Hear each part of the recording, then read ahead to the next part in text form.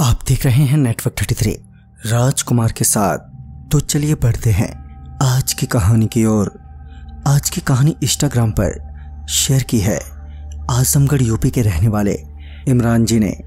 इमरान जी बताते हैं कि ये तब की बात है जब मैं मुंबई से अपने घर, यानी आजमगढ़ लौट रहा था।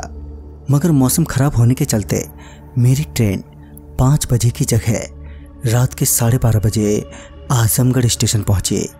अब मुझे स्टेशन से निकलकर आगे के लिए बस पकड़नी थी। मगर जब मैं स्टेशन से बाहर निकला तो तब वहाँ पर कोई भी सवारी मौजूद नहीं थी। कुछ और देर तक वेट करने के बाद भी कोई सवारी नहीं आई तो मैंने सोचा कि यहाँ बैठे बैठे वक्त बर्बाद करने से तो अच्छा है कि आगे बस स्टॉप से बस पकड़ ली जाए। बस स्टॉप तक पहुँचने के लिए मुझे बस एक पुल ही पार करना था। लिहाजन मैं बस स्टॉप की तरफ़ अपना बैग लिए चल दिया और जब मैं उस पुल पर पहुँचा तो पुल पर पहुँचते ही सबसे पहले मेरी नज़र पुल पर खड़ी एक लड़की पर पड़ी, जो चुपचाप सिर्फ़ खड़ी ही थी। पहले तो उसे वहाँ पर अकेला देखकर थोड़ा मैं डर सा गया, मगर जब मुझे लगा कि वो सिर्फ़ एक लड़की ही तो है।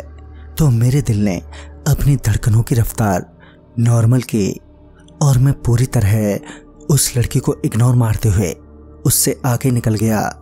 मैं अभी उस लड़की से कुछ ही कदम आगे निकला ही होऊँगा कि वो लड़की टोकते हुए मुझसे बोली, सुनिए।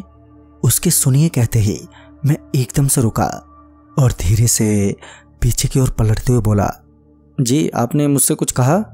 इस पर वो मुस्कुराई और फिर बोले हाँ वो आप कहाँ जा रहे हैं? इस पर मैंने कहा ये बस स्टॉप तक फिर वहाँ से आगे के लिए बस पकड़ लूँगा।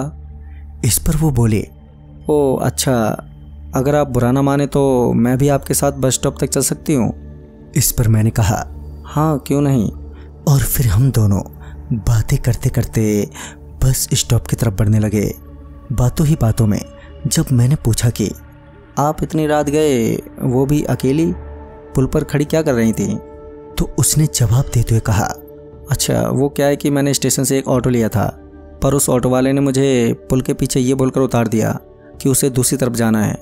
मैंने उससे कहा भी कि मैं यहाँ अकेली कहाँ जाऊँगी मगर उसने मेरी एक भी ना सुनी और वो चला गया। फिर कुछ देर बाद आप मिल गए। उसकी बात खत्म हुई और इसी बीच हम बस स्टॉप पहुँच गए मगर वहाँ पर उस वक्त कोई बस नहीं लगी हुई थी। आसपास के लोगों से पूछने पर पता चला कि अभी तो कोई बस आने वाली नहीं है और सुबह के सात बजे तक इंतज़ार करना पड़ेगा। मैंने भी सोचा, चलो कोई बात नहीं, इंतज़ार ही कर लेते हैं। कि तभी वो लड़की बोली, यहीं बगल में मेरे अंकल का घर है। अगर आपको बुरा ना लगे तो चलिए मेरे साथ। इस पर मैंने कहा, जी, धन्यवाद, मैं यहीं ठीक हूँ, आप परेशान ना होएँ। मैंने इतना कहा ही था कि फिर जोरों की बारिश शुरू हो गई और बारिश के शुरू होते ही उस लड़की ने मेरा हाथ पकड़ा और वहाँ से मुझे ले जाने लगी। कुछ दूर तक तो मैं उसके साथ चला भी आया, मगर पता नहीं क्यों मुझे अचानक ही बेचैनी सी होने लगी। जिस वजह से मैंने उससे अपना हाथ छुड़ाते हुए बोला, जी, नहीं नहीं, मैं नहीं चल सकता आपके साथ। मैंने अभी इतना कहा ही था कि उस लड़की ने कहा क्यों नहीं चल सकते? मगर अब उसकी आवाज़ बहुत ही बदली हुई थी। फिर वो मेरी तरफ़ पलटे। तो मैंने देखा कि अब उसके चेहरे पर बहुत से चोटों के निशान थे।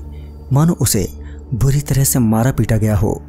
इससे पहले मैं कुछ करता कि तभी वो लड़के एकदम से मेरे करीब आ गई और नीचे ढकेल दिया। मेरे नीचे गिरते ही वो मेरे सीने पर बैठ गई और मेरा गला दबाने लगे। और देखते ही देखते मेरे आँखों के आगे अंधेरा छा गया। फिर जब मुझे होश आया तो मैं वहीं पड़ा हुआ था और मेरे आसपास कुछ लोग खड़े थे मेरे होश में आते ही जब उन्होंने पूछा, अरे भाई, क्या हुआ था तुम्हारे साथ? तो मैंने उन्हें सारी बात बताई।